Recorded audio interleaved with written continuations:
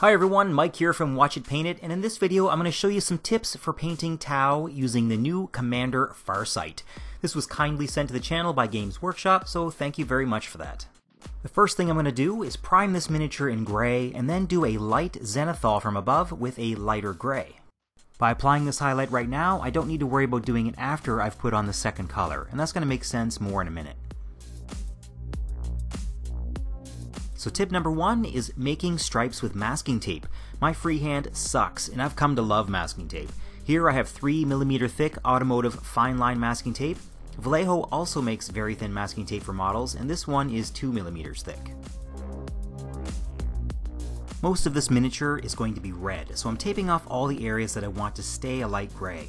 Since I've already done a zenithal prime with the gray beforehand, that means all I need to do after the tape comes off is a simple edge highlight.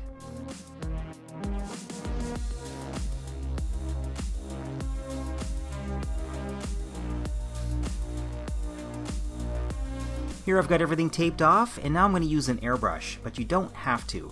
If you choose not to use an airbrush, then I'd recommend sponging on the paint, and then doing some touch-ups with a normal brush. So just like before, I'm going to do a type of zenithal prime, starting with a dark red all over the model.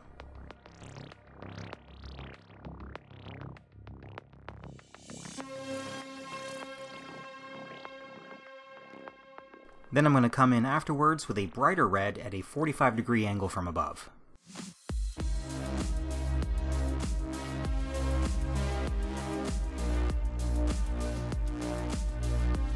Once all the red is on, we can remove the masking tape and see the nice straight gray lines underneath.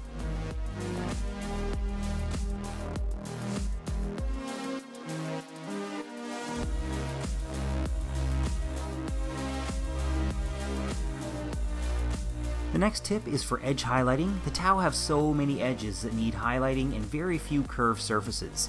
A fast and easy way to do this is to dry brush on the edge highlights. This takes a little practice, but doing your edge highlights in this way makes them much neater than using the side of a brush. I'm not saying that you can't get neat edge highlights using the side of a brush, but it does take a lot more practice than this method. I personally prefer more subtle edge highlighting than Games Workshop box art, so for my edge highlights I'll be using a reddish orange, and this one is Wild Rider Red. The trick is to get a flat brush and then drag it lightly perpendicular to the edges. It's also very important that you have almost no paint on your brush. It does take a little bit of time, but it is much easier, in my opinion, than using the side of a normal brush, though you will probably have to do two layers of paint this way. Once I'm done with the red, I'm then going to switch to an off-white and edge highlight the gray areas in the same way. Some spots are very small, such as the stripes on the fins, and for these, I'm just turning my flat brush sideways to hit those areas.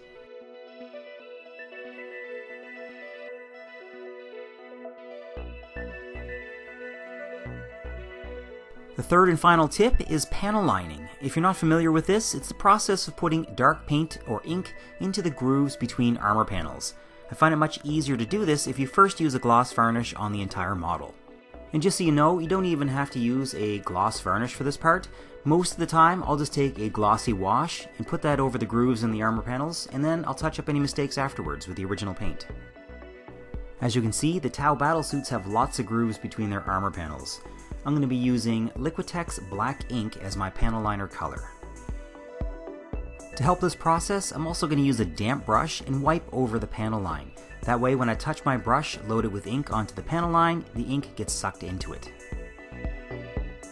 The method I'm showing is only one of many ways of doing this, and I'll warn you, this can be frustrating if you accidentally touch a part of the model other than the groove between the armor plates. The ink is intense enough that it can stain the varnish, though the upside of the gloss varnish is that it's going to create a smooth surface so that the ink quickly settles into the grooves.